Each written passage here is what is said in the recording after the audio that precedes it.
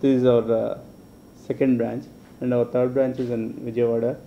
We again we are coming up with uh, and Habsiguda branches. Okay, so and regarding tabla, you can decide like after tasting our food and services. Okay, and thank you for coming. Thank you. Thank you. I'm associated with Tabla from almost uh, 11 years since they've started it.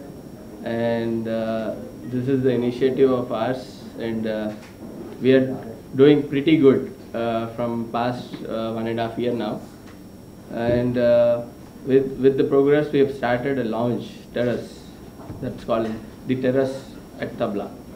So, I mean, uh, you people just have a look at it, write the feedbacks, whether it is positive or negative. It's up to you guys.